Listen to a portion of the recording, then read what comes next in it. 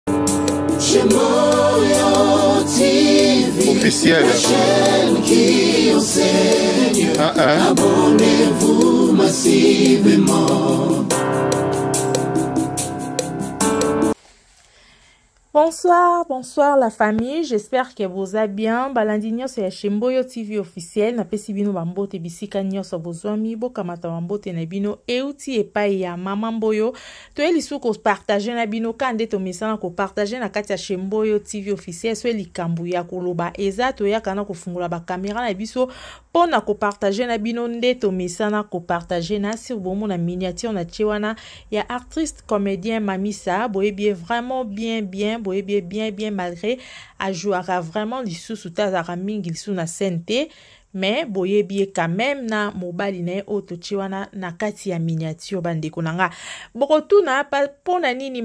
mamisa azongi su na kati ya miniature na biso bandeko soki bomoni totie motu na miniature bongo cercle ya likambo ezali cercle mwa nkombo na ye elobami na bandenge moko boye ou bien te ye moko aleki aye koloba lokola biso mpe tozalaka na mpo na koluka makambo ya koloba mpo na koya koluka matière mpo na koya koluka eloko nini oyo na oya kosala torataka mpe te soki kaka toyoki likambo to biso mpe tozwi toye kopartage yango na bino bandeko na ngai toye oloba mamisa lobi azalaki na live na kati ya tiktok bandeko na ngai kaka nde boyebi bato nyonso bakoma na bango kose defoule na tiktok mpo eza vraiment eh, esika moko oyo elongola bato bastress kua okoti na tiktok ozotala no bavideo ya bandeko basali ezolongola mpe mwa bastress bandeko mosusu mpe bakóma na bango kosala balive kuna omona azalaka na ye lisusu na mingi na youtube te me atika nde kosala balive na tiktok na ye aosola na baabone na ye bazopartage na bango ndeko mwasi mpe mamisa azalaki lobi na tiktok ifaki kuna enregistre video yango naza nango na ba extrait ya mike mike so nabosani lere na osala montage te nakotyela bino video yango boyoka mwa ezi nayebi te eza soki ba une minute boye naotyela bino ndenge azalaki kose plaindre boyebi ke autaki kobala autaki kobala papa oyo bomoni totye na kati ya miniature na biso abalaki bamakambo ebimaki mpe bele bele bele bele après libala ne boyebi ka balibala bacomédien mabala bacomédien ezalaka so ecomédien abali après libala ifo makambo ebima après libala so ezalaki comédien ya mwasi moto abalaki koyoka soki kuna mobali ya kala ye obi ete azalaki mwasi ya boye bamakambo ebele ebele soki mpe azalaki comédien ya mobali okoyoka mwasi abimi toyebaka te soki ezalaka nini na mabala ya bacomédien ndenge moko mpe na ndeko mwasi mamisa lere abalaki toyokaki bamakambo ebimaki pare papa na biso wana nabosani nkombo ne azalaka na swisse mobali ya mamisa oyo abali mamisa sikoyo azalaka na swisse aza divorce na mwasi na ye na mama bana na ye aza na bana na ye oyo akolisa bamakambo mpe ebimaki ebele ebele vraiment après libala ya mamisa na sir boyebi bamakambo yango ebimaki mpo tolobelaki yango mpe tosalelaki mpe yango ba analyse po lelo likambo ekomi na kati ya réseaux sociaux bandeko na nga ezalaka lisusu privé te ekomi public donc motu tout aza na, na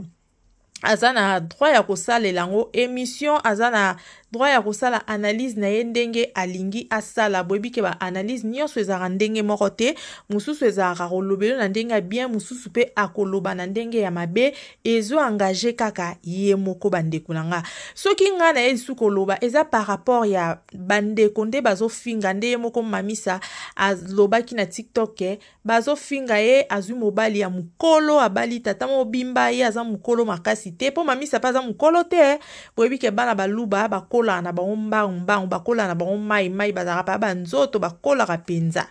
bazofingi azwi mobali ya tata mobimba azwi mobali ya mokolo mobali wana akoki na ye te mobali wana boyeboye antuka bato bafingaki ye mingi na asire bino moko mpe bolandaki yango boyokaki nde bato bafingaki ye atikala koloba te atikala koya korepondre ata na emission moko te mwa mwasi ya bato na nyonso oyo bato baloba na ya solo na ya lokuta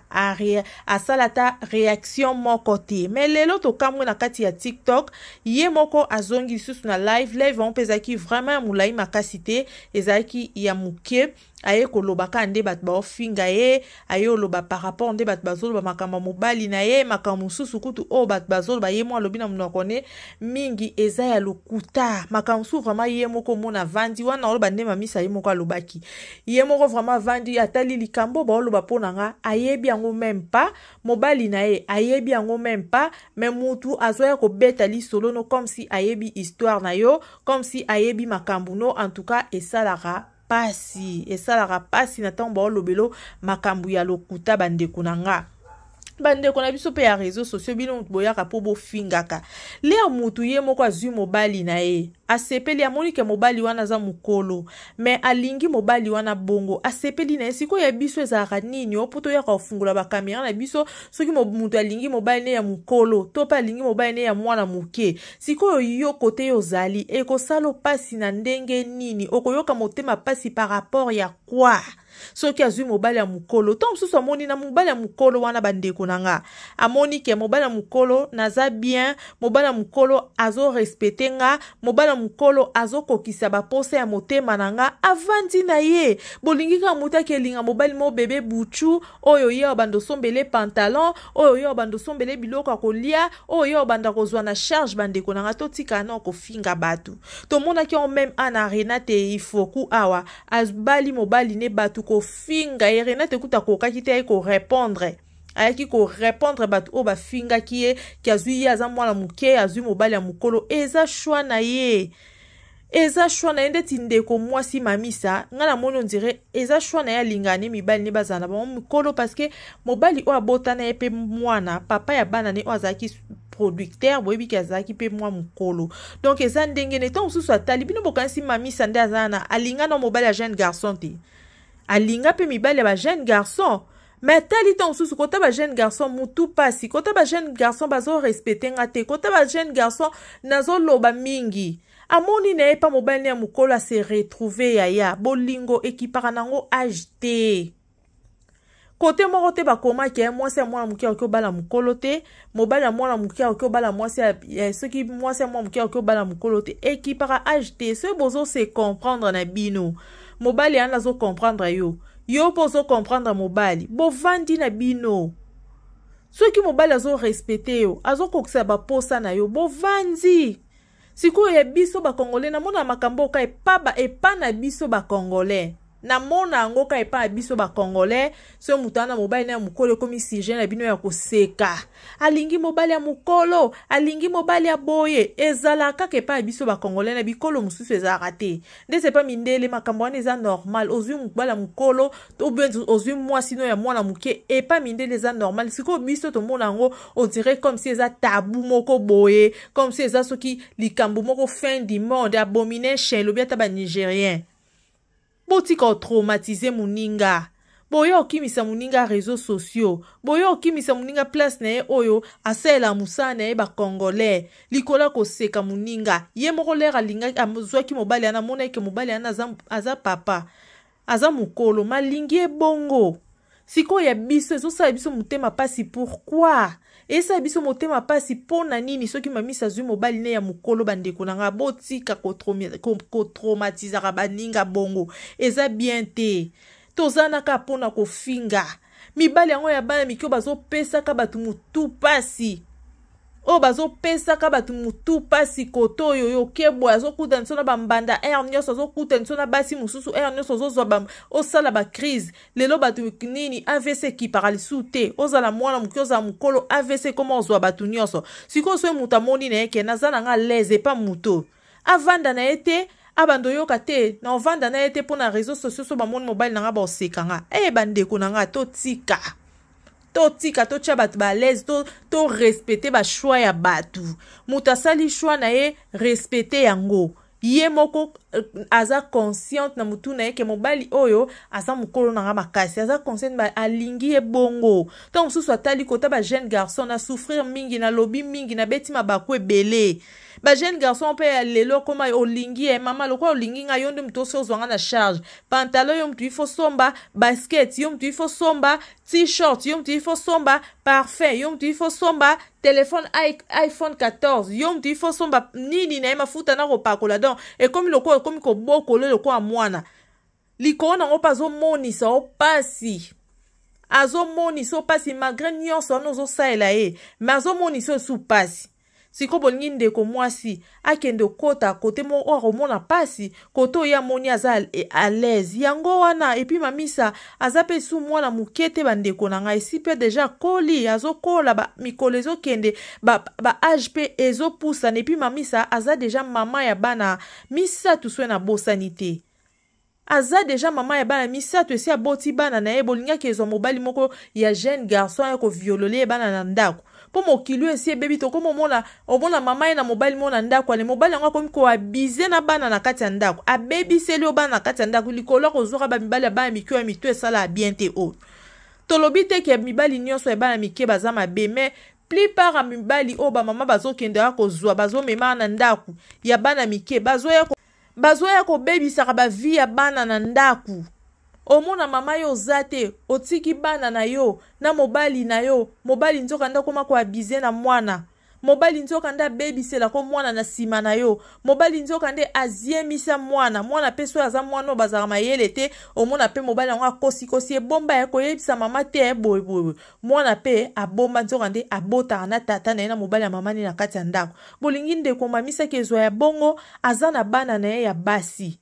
aza na bana na ye ya basi fo atala mobali nini oyo ngai nakolinga mobali nini oyo ngai nakomema na ndako na ngai mpo na ye opresente bana na ngai papa bandeko oyebi ke soki deja obali eh, soki deja oboti eke bokabwani na papa ya bana na yo